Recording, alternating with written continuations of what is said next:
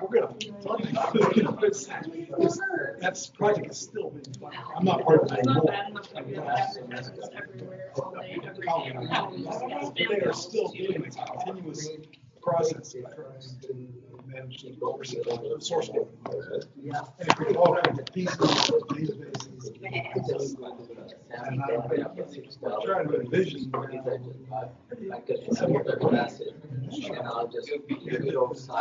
Real-time measurement through the picture of drains and salt. They don't do anything with paper. No, they don't. And it's, the software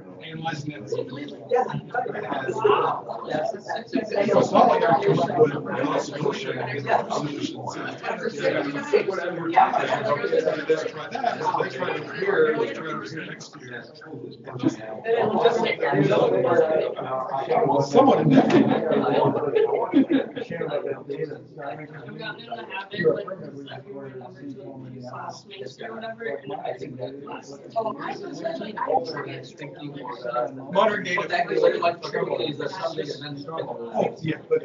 I don't know. I had this last one year, and I didn't know it was- No, we had Florida Capital. So I was telling you Got their about- data. They got on Yeah. Canada. Four terabytes of data. All this thing is like a promotion. I resigned, but And we. Oh, I just kind of- I love it because they can hear the application. Some interpretation. that they don't- Yeah, I because they, their own.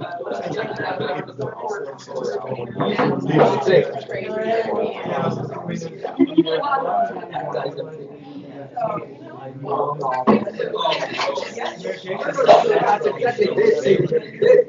why, yeah, I got out of it, so stiff for you. Oh, I'm sorry. I tried not to distract. Got a couple you. meltwaters. All right. Yeah, so we got hundred and twenty mils right now. My children, Doug's a graduate associate project. We're really excited because everything's melting. Uh, yeah, later this month is it? Uh, I think it's two, so I kind of figured it would be an adaptation. We got it started so much We'll have a little more to do over because it's presentation. It is. Yeah, I think I did it all wrong. You think you'll be around that? Oh, okay. It sounds like odor, but not. Okay. Nice to meet you. I went, I went and like. I that wasn't Yeah, and I just spent like an hour waiting come out there just and. So. Okay. Okay, uh, we'll get started with today's seminar. Uh, uh, So I'll just, you know, the abstract for the seminar is, uh, we hear a lot about road salt and chloride in our water these days. The presentation you'll hear today will examine known chloride impacts to our waters and explore potential concerns with continued increases in chloride in our environment. And, uh, Today's speaker is uh, Dr. Mike Trojan, been a hydrologist for the state of Minnesota for 27 years.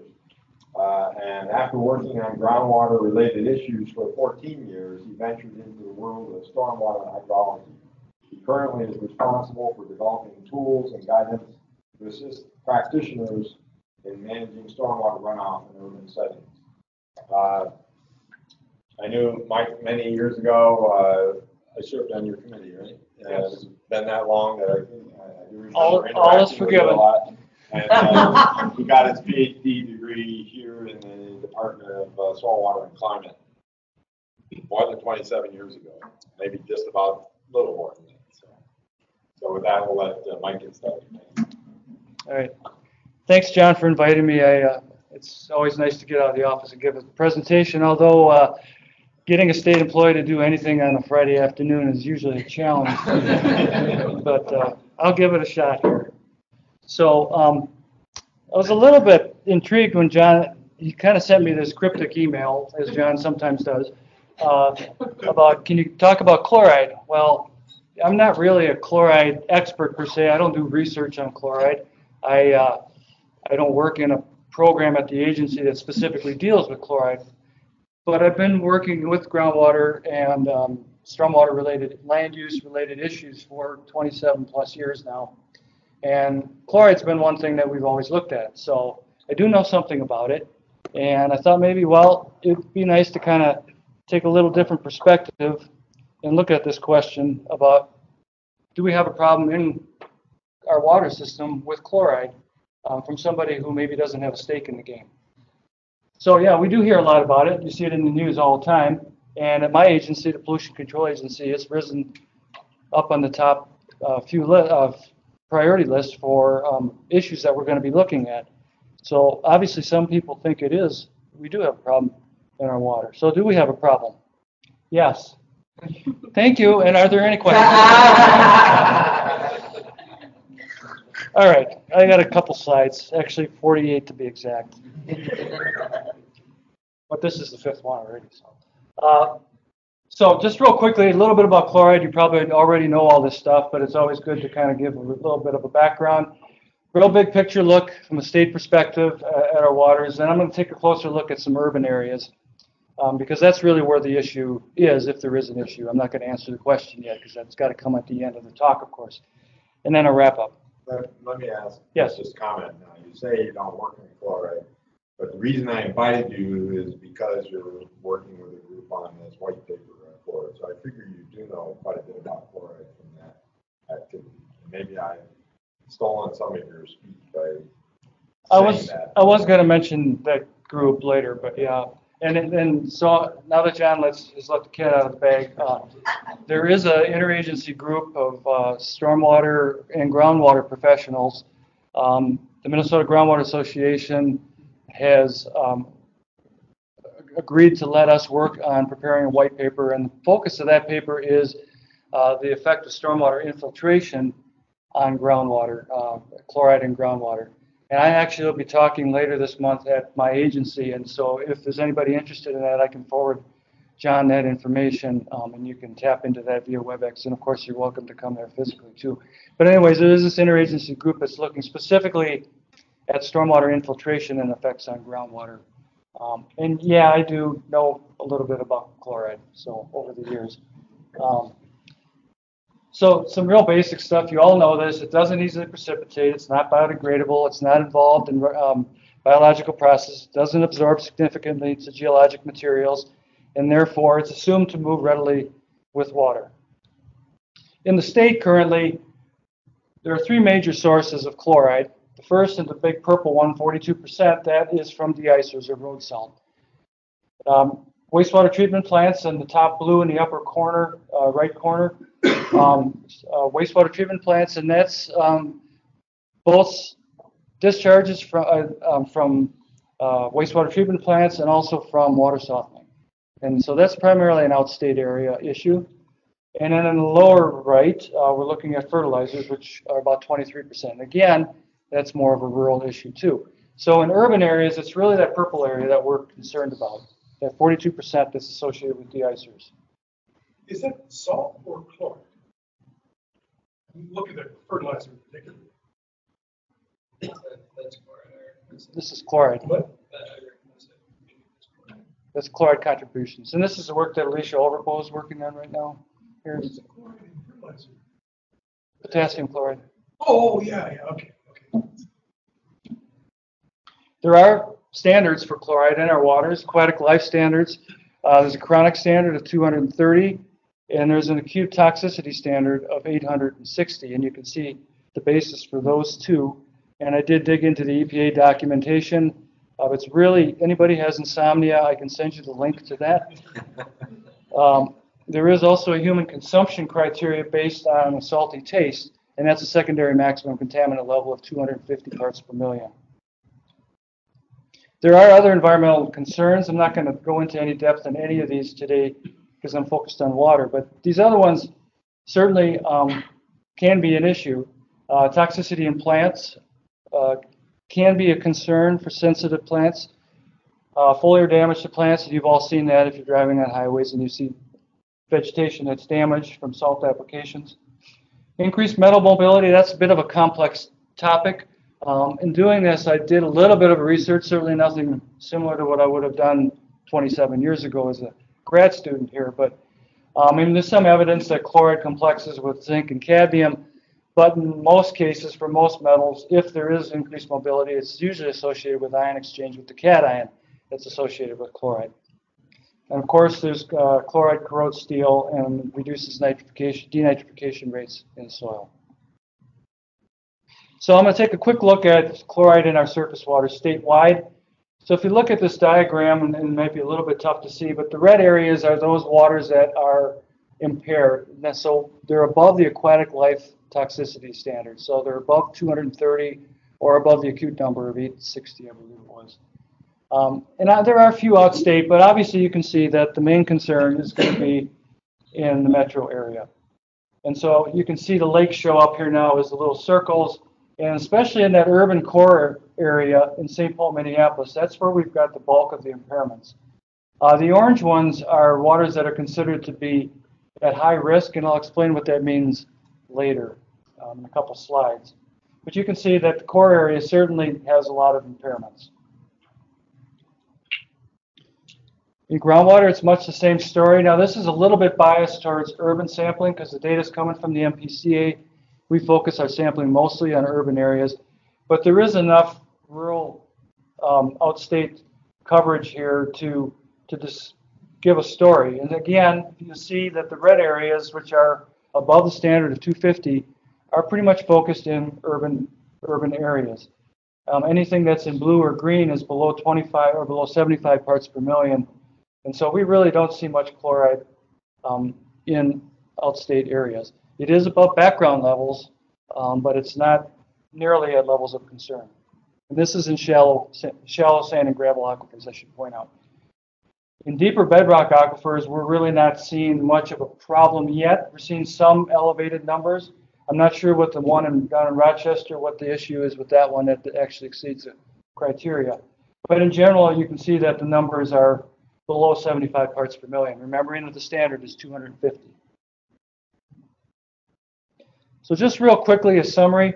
Statewide, we have 26 lakes that are impaired as of 2018, 24 streams that are impaired as of 2018, and we haven't nearly assessed all the water bodies. So the numbers may not seem daunting at this point, but they're, um, they're certainly going up, and I'll show some trend data here in a little bit too.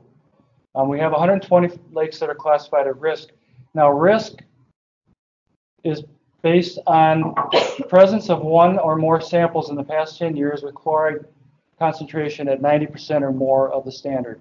So it's not based on any vulnerability of the water body. It's based on an actual concentration that's measured, which is a little bit odd to me, but that's okay. In the Twin Cities metro, of those 26 lakes, 23 of them are in the Twin Cities metro area. 17 lake streams are impaired in the metro, 38 lakes classified at risk. And so about 11% of lakes, uh, uh, surface water bodies in the metro are impaired right now. About 30% of the shallow monitoring wells in sand and gravel aquifers are above the 250 part per million standard. Look at some trends real quick. Um, we don't have real good trend data outstate, unfortunately, um, but we do have some data for trends in the metro area. And you'll see that nearly all the lakes, or all of the lakes, in fact, have upward trends in chloride concentrations. Uh, the darker the red, the faster the rate of increase. So the, the legend is the percent increase. And so the darkest red, we're looking at a 4 to 8% increase in chloride annually. So that's a pretty steep increase in chloride. Um, and again, those, those really rapidly rising trends are again primarily in the urban core area. Um, outstate, about 14 out of 45 lakes are showing upward trends. If we look at the major rivers, this data is coming from the Met Council. Again, unfortunately, we don't have a lot of good trend data for smaller streams or streams outstate. So we're looking primarily at the big water bodies, so the Mississippi, the Minnesota, and the St. Croix. And it's hard to see those numbers, but the Mississippi, for, they're all increasing except for Fort Snelling. Uh, the Minnesota at Fort Snelling. And uh, the numbers look daunting. So we're looking at increases of, on the order along the Mississippi, on the order of 40 to 50, 60%, and the St. Croix on the order of 100% increases since 1985. Those seem big, but then when you look at the concentrations, not so big. St. Croix, we're below 10 parts per million in the surface water. So um, it's still relatively clean water. Even the Mississippi, um, just below the confluence with the Minnesota, is at 36 parts per million, which is well below the standard of 230 parts per million. So yes, there are upward trends in these rivers, and I'm not saying it's not a concern, but um, the concentrations still are at levels that are relatively low. And if you have questions along the way, feel free to jump in. In groundwater, we have upward trends in 11 of 36 wells in, in shallow sand and gravel aquifers, and those occur again in urban areas. And the rate of increase in these wells on average is about 3.4, about 3.5 parts per million per year. Some wells are showing much steeper um, increases than that.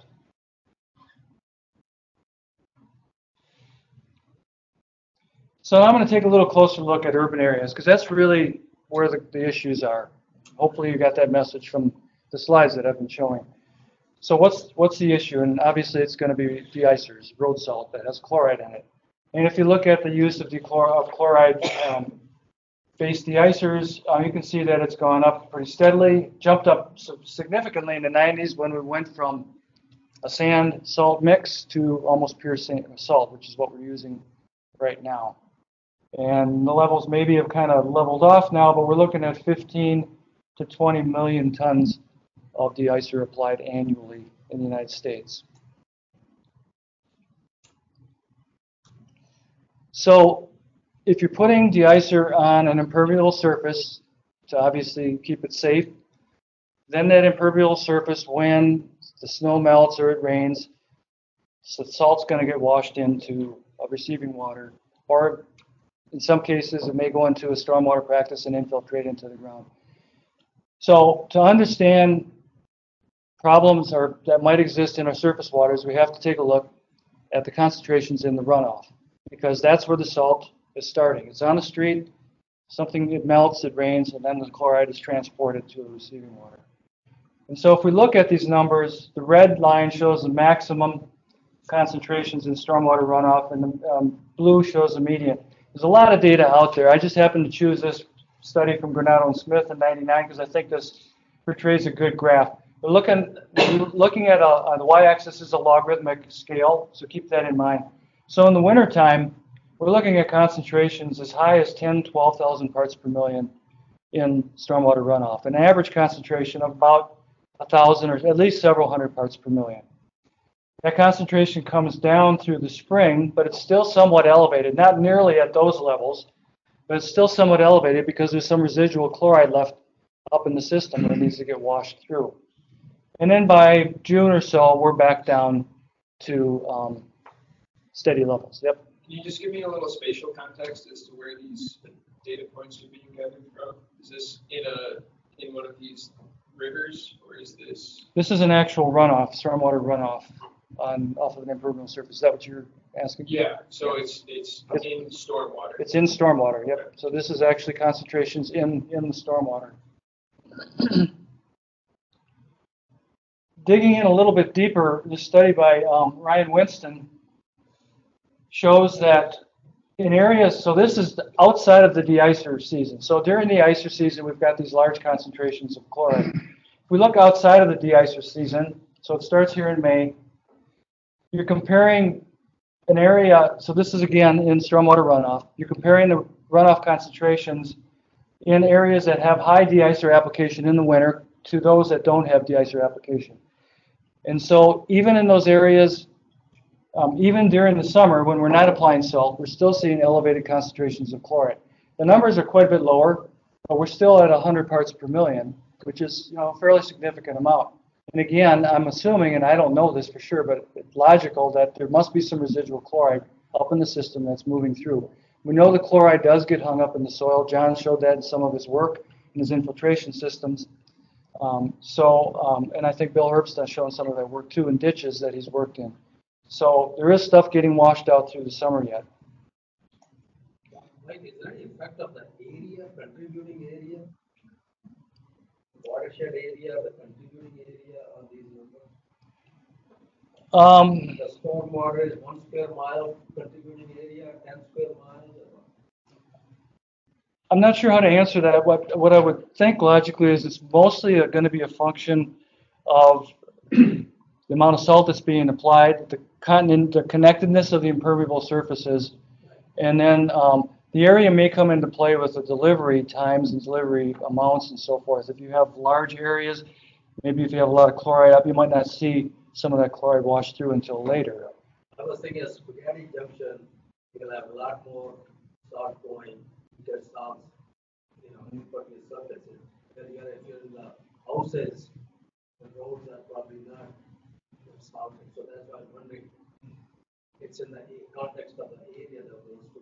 Oh, I see. So, yeah, it's, it's, it's the- the concentration, and I'll show some of that data later, that the, the most important factors um, contributing to this are exactly what you might expect, which is road density.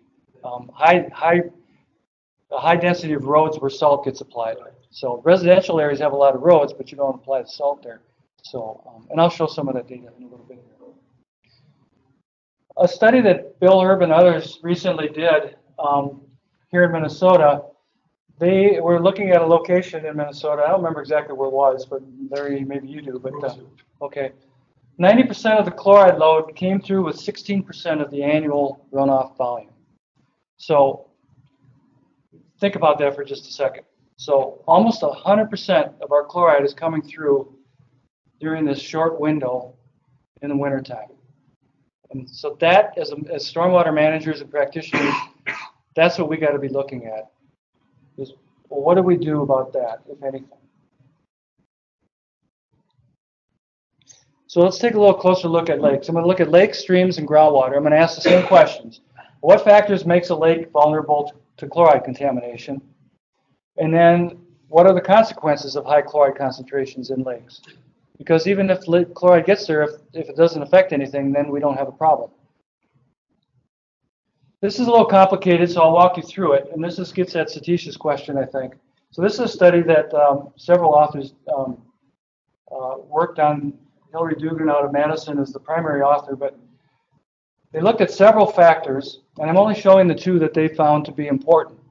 The first is impervious surface within 500 meters of a receiving water, and these are lakes. And all these lakes are in the northern part of the United States, including many here in Minnesota. And the size of the symbol is representative of the size of the water body of the lake. So the bigger the symbol, the bigger the lake. And the other factor was road density. And so they ran regressions of chloride concentration on a bunch of factors. And these two factors are the two that jumped out. So they ran ran a regression of chloride concentration on impervious surface.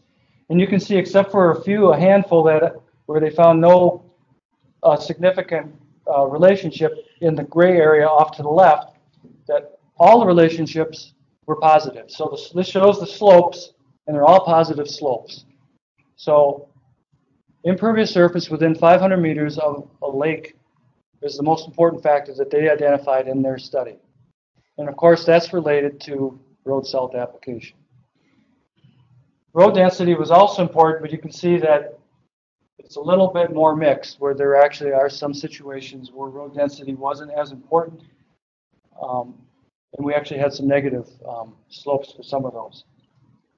And of course, these are going to be surrogates for application of road salt. It's almost impossible to go out and get very precise data on road salt application, at least currently with the current technology. Maybe, maybe five, ten years from now, we'll be able to get that information. But you could go to the city of St. Paul or Minneapolis, and they could tell you how many tons they're applying uh, per lane mile and stuff like that. But to get it for very specific areas is not feasible. So we're looking for these surrogate indicators, and that's what these are here. One interesting thing about this study is that they found that if you had impervious surfaces as low as 1%, that they saw upward trends in chloride concentration.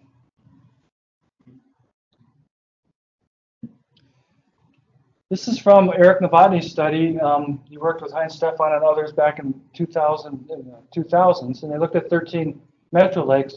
And again, the left, the y-axis is a little bit confusing. It's normalized, so anything above the one means it's high. Anything below the one means it's low, basically. um, similar to the climate uh, numbers that you see, the global temperature numbers that you oftentimes see. And so you can see that the peaks always occur in mid-March. So these are peak concentrations in lakes. Um, the highest concentrations in runoff are probably with those little melts that we get in January and February. We do have them. I know some of you are saying, what melt is he talking about? But we do get little melts um, in January and February, and those have extremely high concentrations of chloride. But on a volume and mass basis, it's really not a lot. When we get that first flush melt that we're going to get next week, right? Um, that's when all that road salt that's out there is going to get washed into the lake, and that's why we're seeing these peaks here in March. Great. Yeah. That'd be good. Yeah, I mean, you're gonna, be in Florida. Another, another uh, fact, another um, characteristic that was looked at, and this is out of the chloride management plan, which the agency is currently working on, is this this Osgood index, which looks at the, the ratio of the mean depth of a lake, how deep it is, to the square root of the surface area. So, uh, and we get a regression, a correlation coefficient of 0.6, which in the environmental world is really not too bad. Um, and you can see that as that Osgood index increases, the chloride concentration increases, which means a deep lake that's small is going to be very vulnerable to chloride to chloride um, inputs. Another way of looking at that is to look at the ratio of bottom concentrations in the lake to the top concentration. So you take samples from the lower part of the lake and the upper part of the lake. The one-to-one line there, you can see that all the lakes sampled are above the one-to-one line. It's not surprising. You expect chloride to move down. You expect to get this saline layer in a lake, and that's exactly what's happening. So is that important? There's lots of studies out there, and I happen to pick this one because I thought it was fairly comprehensive, um, this, and it's fairly recent too, which is good. So looking at the community structure in lakes and the effects that chloride has on the community structure, it has a negative impact on zooplankton and surprisingly a positive response by phytoplankton. If you look at the benthic communities, it's a mixed result. Some things are negatively affected, some things are unaffected. And I'm not going to go into great detail here, but I can certainly forward any of these references if you're interested. Um, so the bottom line here is that the community structure in lakes is getting disrupted.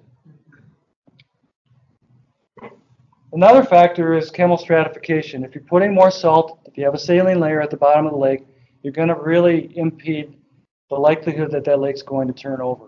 That lake needs to turn over if you're going to have proper nutrient cycling in it. The result then is that we're disrupting the nutrient cycle in, in these lakes. We get this oxygen deficient layer at the bottom. Um, and of course, that has implications for phosphorus. So we've got a lot of phosphorus problems in our lake. And it's getting exac- exacerbated by these chloride inputs because when the lake finally does turn over, you've got this anaerobic um, area at the bottom of the lake, and all this dissolved phosphorus is going to get flushed to the top, and it's going to cause problems in the lake, or if it gets flushed out of the lake, it's going to cause problems downstream somewhere. So let's take a look at rivers and streams. Same questions. What factors make a river or stream vulnerable, and what are the consequences? Start by looking at the Mississippi River.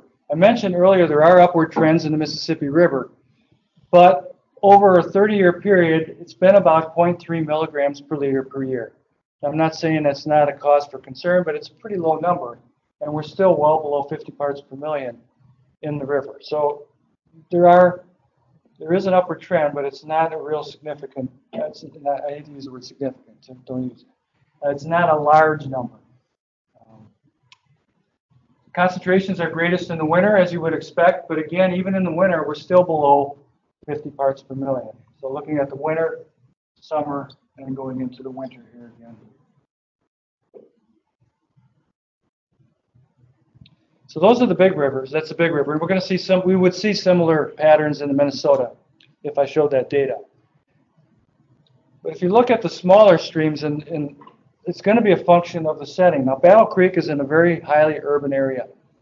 If you look, these are stream concentrations now. If you look at the stream concentrations, you can see that it's exceeding the aquatic life criteria in the winter. And we're getting numbers over 600 parts per million. So we're starting to approach the acute toxicity standard in this very highly urban lake.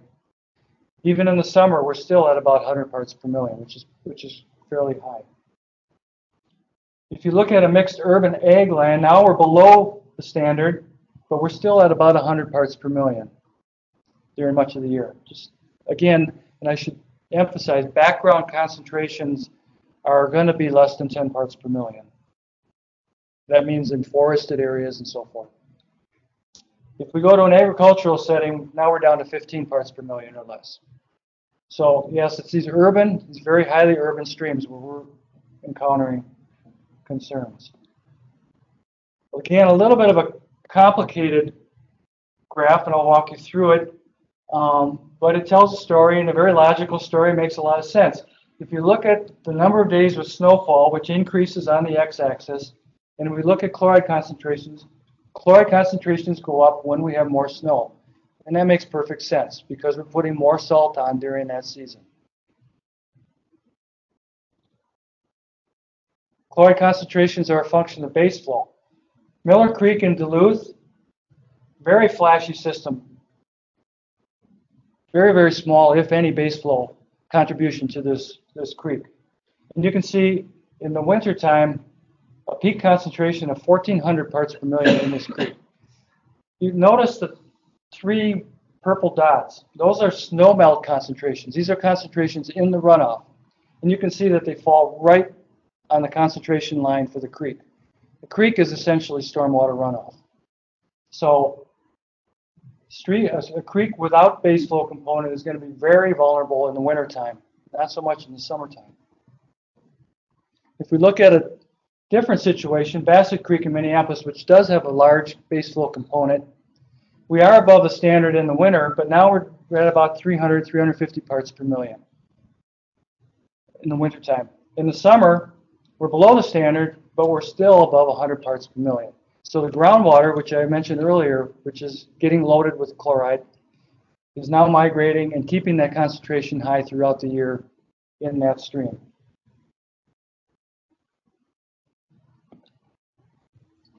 So, so what are the consequences of high chloride? So this data, again, is fairly recent. Um, I'm going to show a couple different data sets. There's a ton of data out there on this, and it's a little bit mixed.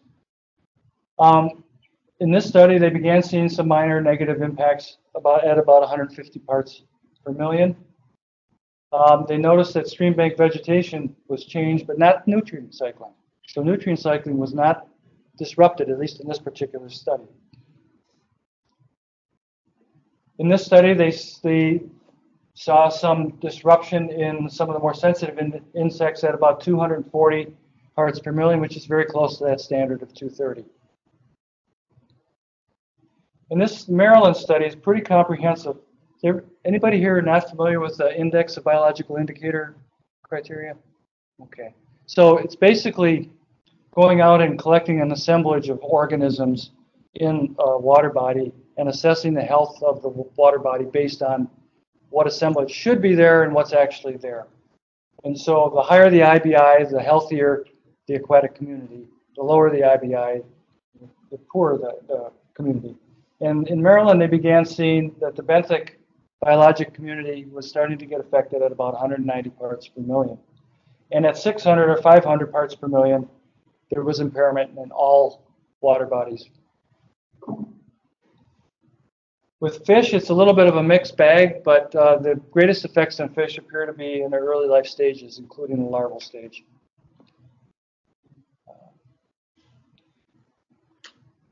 Despite considerable information, the results are really mixed. And um, I'm not sure, maybe there's an ecologist in the room here that could explain that, but I got the sense in reading this, and I'm not an aquatic biologist, I got the sense that stream communities all are very different. They're very complex. The water is there for a short period of time and flushes through. So it's a little more complex system, and I think that maybe that's part of the reasoning here. But I would suggest to talk to your local aquatic biologist if you have questions about that. So let's take a look at groundwater. Same questions. What makes it sensitive and what are the consequences? So this study is from the USGS in 2009. If you look at the land uses, again, we got a log scale on the y-axis.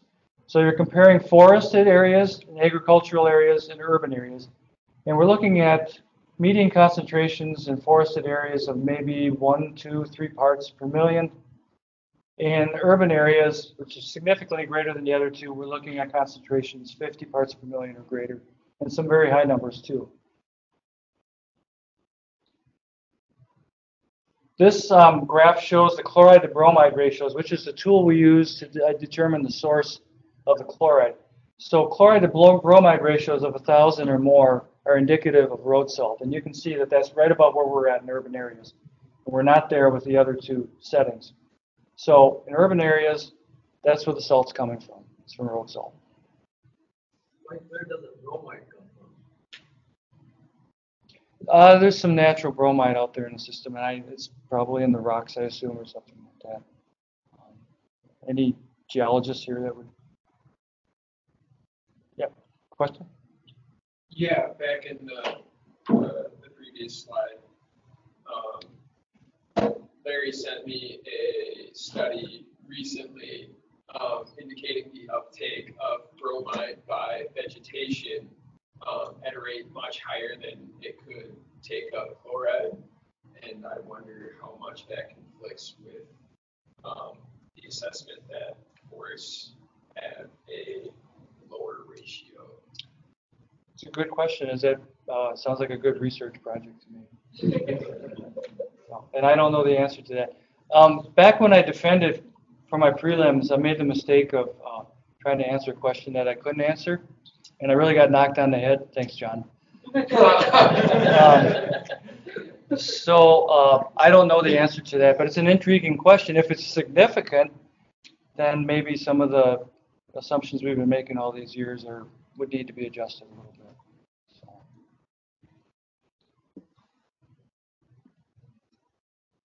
This is some data from the PCA, um, and PCA is, re- is working up its latest data, but this is from 2013. And I've been told that the numbers are somewhat similar, so um, I went ahead and decided to use this instead of pushing to get the newer data. But the yellow, I mean, the blue shows median concentrations, and the orange shows maximum concentrations, comparing commercial, industrial, sewered residential, residential with septic systems, agriculture, and then undeveloped areas. And you can see that the median concentrations are significantly higher in, in uh, urban areas, but not just in urban areas, but in commercial industrial areas, they're the highest, about 82 parts per million in shallow groundwater. This is again shallow groundwater samples. Um, but in urban areas in general, it's always above undeveloped and agricultural settings.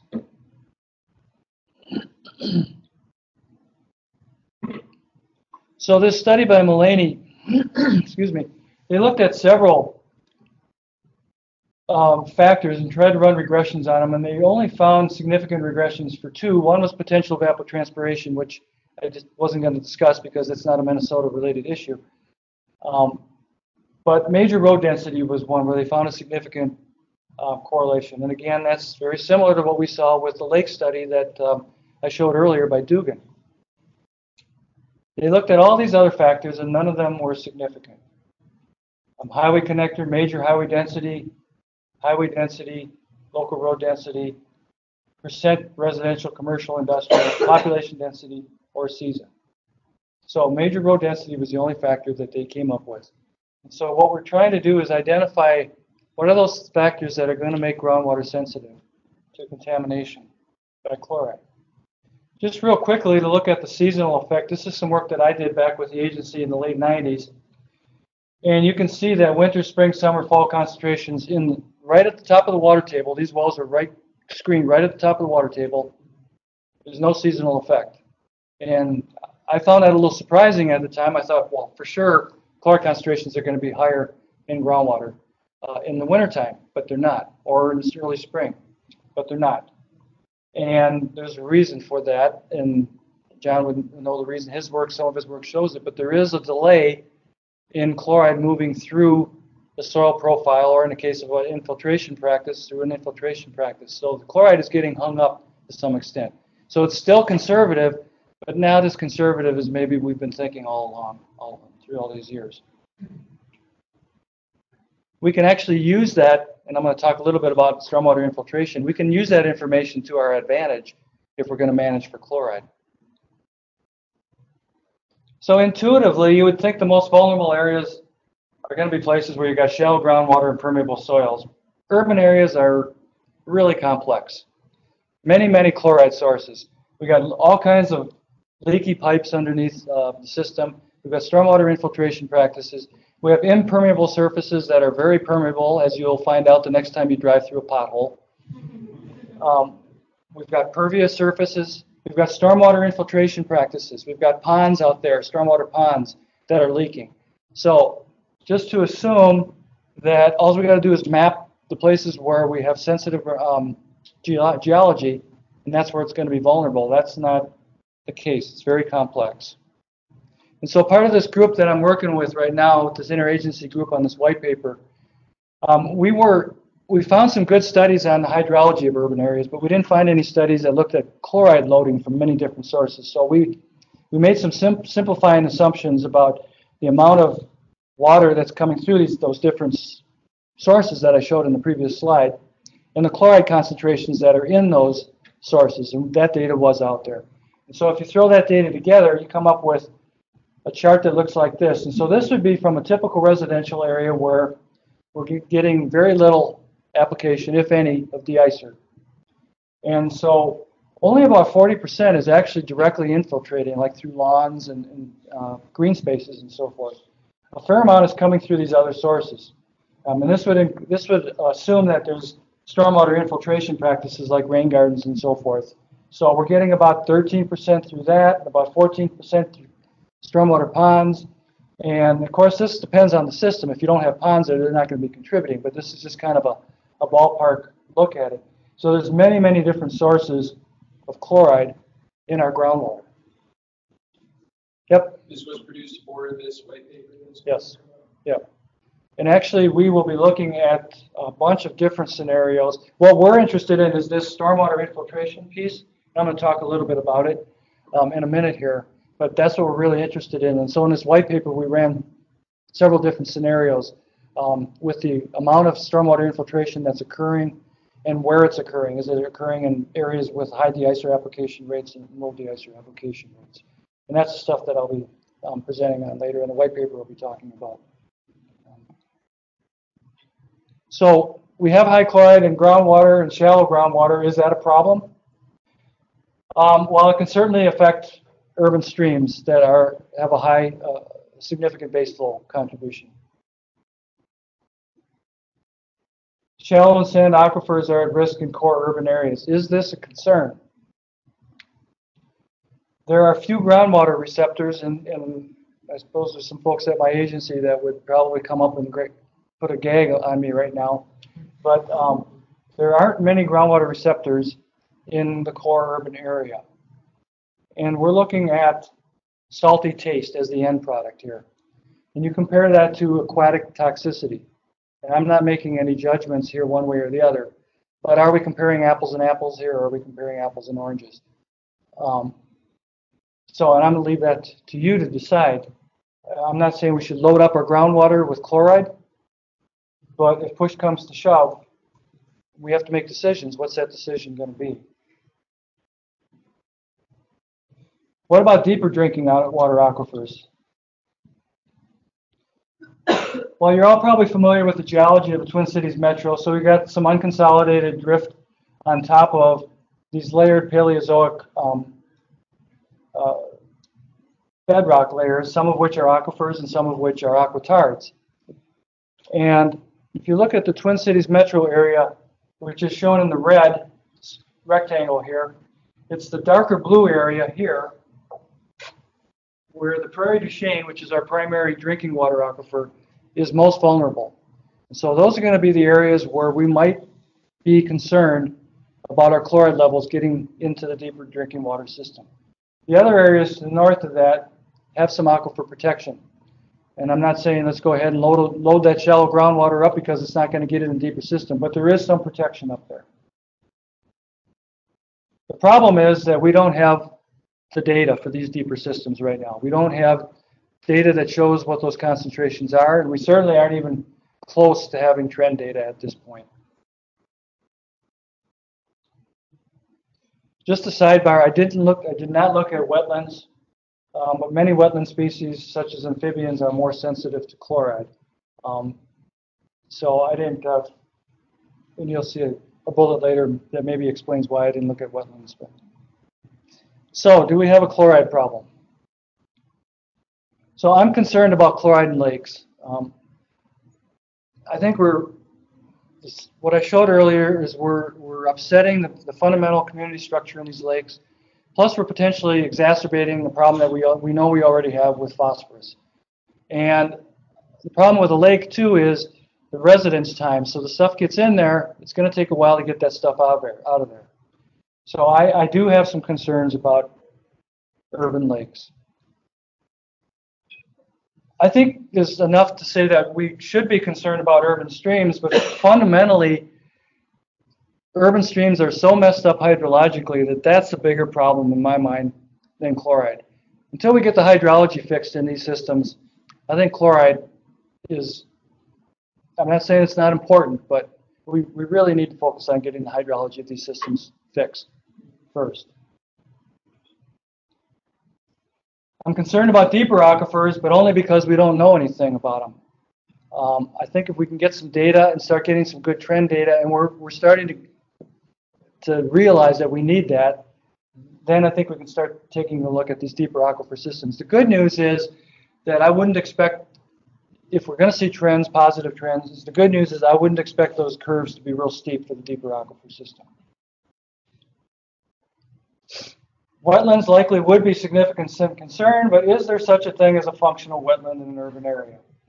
So, a little bit of cynicism there. I'm sure there are, but again, that kind of relates to the stream issue. That we've really messed the hydrology in these urban areas up. A lot. a lot of these wetlands were actually used as stormwater for stormwater treatment for a long time. I only have one slide on management strategies, but I was talking to Larry about before the talk about this. This is a really complex issue. And of course, the first thing we should do is decrease our use of deicers to acceptable rates. Um, there's a lot of places, and all you need to do is walk down the sidewalk and, and see that we're applying way too much salt. Um, there are proper rates. Um, Brooke Asleson at the agency is working with uh, folks like Connie Fortin and that to do a lot of training, and the road people are starting to get get it. The road people are starting to get it. Private applicators, not so much. Um, so that's number one on the list. But there's a whole bunch of other strategies we should be thinking about too. Um, maybe use alternatives, and I put maybe because you'll see that's one of my research suggestions. I don't think we can go to um, something like acetate until we know what the potential effects of that are going to be on the environment. So we still have work to do in that area use liquids, anti-ice. Um, and you'll see maybe today, hopefully, they'll go out and they'll do some anti-icing in lieu of yet another winter storm tomorrow. So this is a very efficient way of decreasing your salt application. Establish chloride-free zones around sensitive water bodies. Improve snow and ice removal technology. And I was talking to Larry about this before. We're starting to see some technology now where the snow blades can actually get really do a great job of getting that snow and that ice off the pavement. If you can do that, then you don't need to apply de-icer or you need to apply much less. So the technologies uh, I think are starting to get there um, where we can do a better job of removing the snow and the ice. Lower the wintertime speeding limits and then infiltrate in the right locations, especially with permeable pavements. Permeable pavements, as many of you probably realize, um, need very little, if any, de-icer. Um, they can't be used everywhere. I-94 is not going to be constructed of permeable pavements, but they're perfectly suitable for parking lots, sidewalks, um, maybe light traffic roadways. Technology is getting better, but we're not there with heavy use yet. I know it was disappointing several years ago when I was walking on Macalester College. They put in these really beautiful permeable pavements, and then they put the ice around them in the wintertime. And I've noticed that they stopped doing that. Somebody must have told them about it. if I have enough time, do I have a few minutes yet? I'm going to talk a little bit about stormwater infiltration because that's the area that I work in. Um, It's a little bit of a side sideways bend here, but um, so for those of you who are not familiar with the concept of infiltration, it's the latest rage. Uh, green infrastructure, low impact development. Um, and the reason is, is we want to keep the water as close to its source as possible. Um, so what we do is we build these systems that are designed to capture runoff in the street, hold the water and infiltrate it into the underlying uh, soil, where it eventually will get into the groundwater system, and from there, maybe into the deeper aquifer or into a local stream or lake. These systems are focused recharge systems. They'll, uh, depending on the design, they'll take 25, 30, 50, 60 feet of water a year, which is much, much greater than the typical infiltration that we see, uh, maybe about 4 to 10, 12 inches in some places, maybe. So they're designed to focus a lot of water. And of course, that might raise a red flag if you've got really high chloride concentrations in that water. And you compare that to other systems that have this underdrain, well, they're, they're capturing the water too, and they're filtering it, but that filtered water then gets captured by this underdrain and gets returned to the stormwater system. So they're not infiltrating very much water. Some water does escape below. So it's these infiltration systems on the left here that we're, we're, we're concerned with. And some examples, rain garden here on the left, underground infiltration, permeable pavements on the lower right, the tree trench system along the green, green line, um, that's a massive underground infiltration system. So I'll walk you through this study. Um, and there's been a number of good studies. John's been working on one here in the metro, but this is this is a very good study that's done out of Villanova. And so I'll try to walk you through it. So they looked at a rain garden, an infiltration system, and they uh, outfitted it. So they measured the concentration of runoff coming into the rain garden. and they measured the concentration in the rain garden and in three lysimeters that were at depths of 0, 4, and 8 feet below the rain garden. Then the water table, which is about 20 feet down, they put a monitoring well directly down gradient of this rain garden. And then farther down, 35 feet, is another monitoring well. So I'll walk you through this data now. So during the de-icer season, we're looking at concentrations of up to 10,000 parts per million coming in. This is the runoff coming in to the rain garden. So concentrations are very high. And as, as I showed earlier, they drop off pretty, pretty significantly and quickly in the spring. Looking at the lysimeters, even the lysimeters right at the bottom of that rain garden, constant, again, we've got a log scale here, concentrations are significantly lower, but still quite high. So we're looking at concentrations on the order of maybe three, four hundred parts per million in these lysimeters, but not 10,000 parts per million. If you look at the monitoring well, directly down gradient, you see an even lower concentration. But you also notice that the lysimeters have this lag time where the concentration stays very high way after the de-icer season is ended. The monitoring well is in even further lag. So the chloride is taking its time getting through the system and down gradient. And if you look at the monitoring well down gradient, it's not impacted at all by this system. That can have important implications for how we manage infiltration. So here's some stormwater infiltration recommendations. Infiltrate in areas not vulnerable to chloride contamination. These are great areas to infiltrate. We want to we want to infiltrate residential areas, places like that. We want to infiltrate there. Really promote it. If you're in vulnerable areas, maybe distribute your infiltration practices. Use multiple rain guards instead of one system. Properly site your infiltration practices with respect to receiving water. So thinking about that previous slide, if we're seeing a six-month lag in that peak concentration in groundwater from an infiltration practice, maybe put your infiltration practice a travel time of six months away from your receiving water. So it's about placement. a little bit complicated. We don't get that sophisticated in stormwater, but maybe we need to start thinking about things like that. And then utilize permeable pavements when it's appropriate to do that. These are just some needs that I've identified. Um, I'm sure you're all working in the world of research and you, and I've heard a couple ideas today already of some things that might be nice, nice work to do. Um, we need to do, uh, we need to start looking at our trend data. And Met Council is starting to do this with the smaller streams um, in the metro area. We need, we need that data to help us understand what's going on in these urban streams. We need to improve our understanding of fate and transport in groundwater.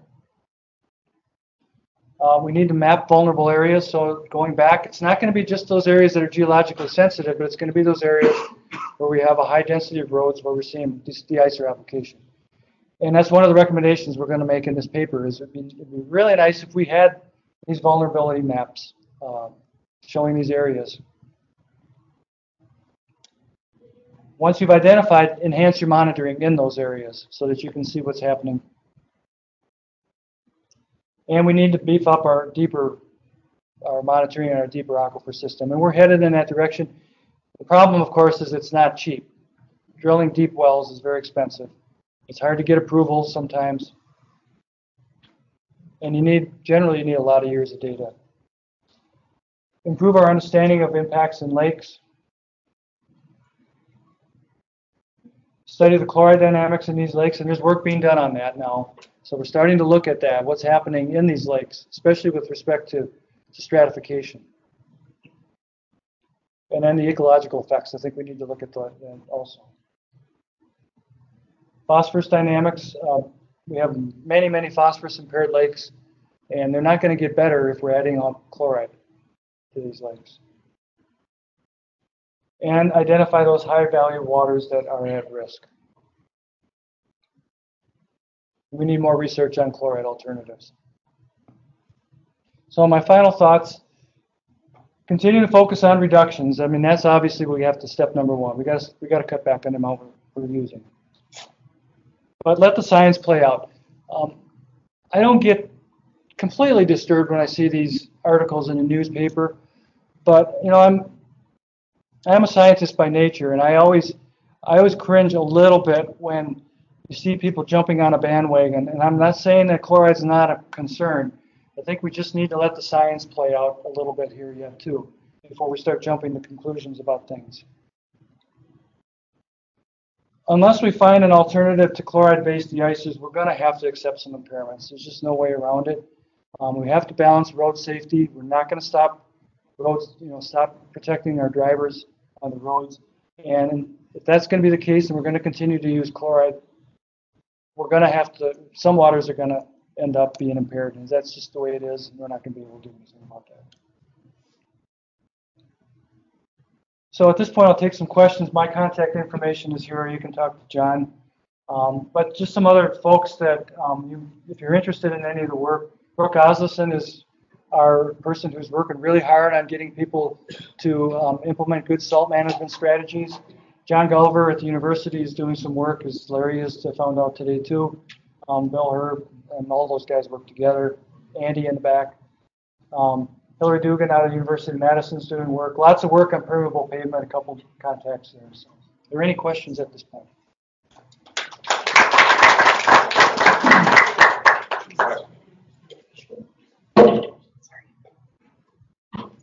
Yeah. So I've been the uh, watershed commissioner, Shingle Creek watershed for quite a while. I have a couple observations. First of all, um, Shingle Creek has a TMDL for chloride. So there's absolutely no leeway whatsoever for the, you know, Shingle Creek watershed that there's a law that says we have to work on strategies to reduce that chloride concentration below the TMDL. So, I mean, I like the caveats you were bringing up at the end, but practically speaking, you know, the, the real issue is for a lot of small urban communities, we, we have no resources to deal with um, the cost of remediating watersheds that are impaired. So what do we do about that? Yeah, and I also work for the stormwater program, which is a permitting program at the agency. And um, there may come a time where there's this thing out there that uh, is called maximum extent practicable.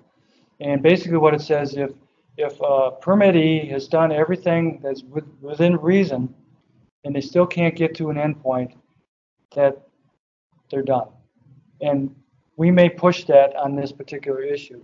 I, you know, I'm having a hard time seeing how Shingle Creek is ever going to be below that aquatic life standard. Um, If we continue to use chloride, you can put a lot of strategies, you can have all the road authorities doing the right things and so forth, and I think you're still probably going to be above the standard. And at that point, the ball kind of gets thrown back into my agency's court saying, you know, we've done everything, we're not going to get there. And at that point, we may just say, yes, you've done everything and we're not going to get there. So I don't know if that doesn't really give you a satisfactory answer maybe, but, uh, um, We have been doing a lot of good things, including the permeable pavement has worked an amazing uh, reduction. We don't have to use salt at intersections. yeah. But we have, you know, major highways that go through our, our watershed. And MnDOT is just a whole other ballpark. Yeah. And MnDOT's doing a great job. Um, they're, but they still have to put the ice around the roads. And so, I mean, until we come up with reasonable alternatives to chloride, I don't see how some of these waters are not gonna stay impaired. I just, I'm having, it's just the way it is. I think Andy had a question first and then That's all right. Um, so you might not have the answer to this, uh, but I think from, you know, Alycia's work, that just came out, something like twenty-three percent, uh, the chloride from ag, right? fertilizers, yeah. Yeah, and then, but then when you looked at the, the stream data and the groundwater data in the ag areas, chloride concentrations were really, really low. So it didn't seem like there was a, there was a connection there, whereas in the urban areas, you certainly saw the connection between what was being applied, was the chloride, and then impacts on the waters. Mhm. And I don't know if that, the connection just hasn't been made yet, or if we need to look more into that. I don't know if you've heard anything. I suspect it might be an area issue, because you got the area the- that you're applying that twenty-two percent, twenty-three percent over is much, much larger than the area that you're applying that forty-three percent road salt or whatever it is over. So I, I suspect that has something to do with it. But good trend data would help us to understand that better too. So. I think Larry you had a question then. Well, uh, you mentioned the groundwater uh, contamination base flow. Mhm. Uh, In the big drains, or several, at least in the Capitol Region Watershed District. uh, uh, I mentioned, they gave us a lot of their data to work with, Ben Jecky, uh, did a lot of statistical stuff. The, uh, there, there is uh, chloride in the summertime exceeds two hundred to thirty per standard in some of those drains. So it's clearly groundwater coming in. Yep. Um, I think the hangup is just the transport time down to the vadose zone and, and in the groundwater itself. But uh, as it drains out, there's very high concentrations. And, uh, that's true, I believe, too, in, I'm trying to remember from the graph I saw today, uh, in some of the, uh, NWL drains. Yeah, and I should have qualified my statement that about base flow, um, how you can use that as a way to manage the stream. If your groundwater is above the aquatic standard, it isn't gonna do you any good in the stream. So, yeah, and there are, you're right, there are places where groundwater is above two thirty. So, um, that's not gonna help the stream at all. So I've, I've got just a little bit of quick clarification and maybe a short follow-up. It's just, um, eh, during parts of your presentation, I wasn't sure if you were saying, suggesting that chloride as it moves through the soil profile is moving slower than the water is transporting it? Um, Or if We're not sure what's happening yet. Um, there could be some dead pore spaces, there could be some chlorination reactions happening with organic matter. Um, we're not sure exactly why the chloride's getting held up yet. my follow-up was the mechanism. That would be a good, that would be a good study, and that's actually one of the recommendations we're gonna make in this paper, is to try to get, if we're putting in these infiltration systems, we're putting in a lot of chloride.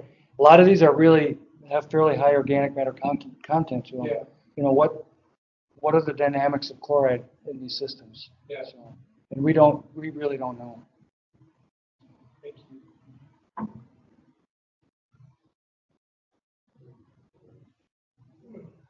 I, uh, uh, I mean, most of what you're talking about here is direct understanding chloride uh, better the impacts and such. But uh, we can do a lot more research on the on reducing the inputs in a way that uh, are more targeted toward a particular uh, winter event. Uh, that uh, use the right amount and no more. Um, we have these uh, computerized salt trucks. We have a lot of data now, a lot of uh, big drains now uh, being monitored all year round. Um, you know, we have obviously the weather data and stuff. We can start to put together adaptive management concept, uh, research down the road. We to that's for sure. But I think we can do more. I mean, we're sitting with these you know, two hundred thousand dollar computerized trucks and nobody's using the data. And we're starting to do it in the they're, they're kind of happy to see us there, I think. Uh, But uh, in the past, up till very recently, we haven't been using that data. It's, it's there for us. I think that gets at the bullet I made about letting the science play out. I mean, there's a lot of data out there, and I think we need to look at that data and let. But I, I get a sense from MPCA. Uh, I mean, this isn't directed at you, but, uh, but the idea is just, let's just cut back, cut back, cut back. And there's not a social science part of that, like how much can you cut back before people are, you know, feel impaired with mobility. Uh, or some old lady slips and breaks her hip because they didn't solve the parking. Um, Yeah, but, so sort of cutting back blindly, if we just cut back a little, if everybody tries harder, we'll get there. And I would suggest that if we target where, how we're doing the worst winter events, that we're pretty sure that most chloride is being put down. Uh, we can do a pretty good job, uh, doing things like, like you mentioned, using alternative uh, blade technology, all kinds of things that we can do that would, uh, you know, actually start the reduction process, even as we're learning more about the impacts in such a long way. I think Brooke would agree with you. I've had conversations. I think she would agree with you. I think you're right. Our agency, and, and that goes way back to my third slide where I showed those news clips. Um, I think Yeah. sometimes people see, oh, we've got impairments, we've got bad trends, we got the sky is falling kind of a thing. And I think you're right. I think there is some of that out there. And that's why I framed this talk after John asked me to come and talk. That's why I framed the talk the way I did. Is I don't think it's a sky is falling issue, but I do think it's something we need to do something about. And I think you're right. I think we need to look at it more holistically as that cutting back is a, probably the most important thing. But there's a lot of other things we can do too. The other thing I haven't seen is, um, I have not seen a single social science type survey to query the uh, uh, citizens, uh, uh, what the, uh, what they would accept in terms of chloride reduction. The only time cities hear about it is when somebody's pissed off and they call. You know, because they, they slid into a truck or something. But, uh, you know, what would the average citizen, how do they feel about this? We have no idea. it'll be interesting if the liability legislation goes through and, um, and then people realize that they're not liable anymore. And so they start, if they, if they in fact start putting less salt on as a result of that, and then it'll be interesting to see that. But you're right, I don't, ultimately, as citizens have to play a role in it too, so. Yeah, I think that, uh, uh, Mike will be around for a little while, uh, to ask questions. um, but Let's go ahead and, move on. thank you. Thank you.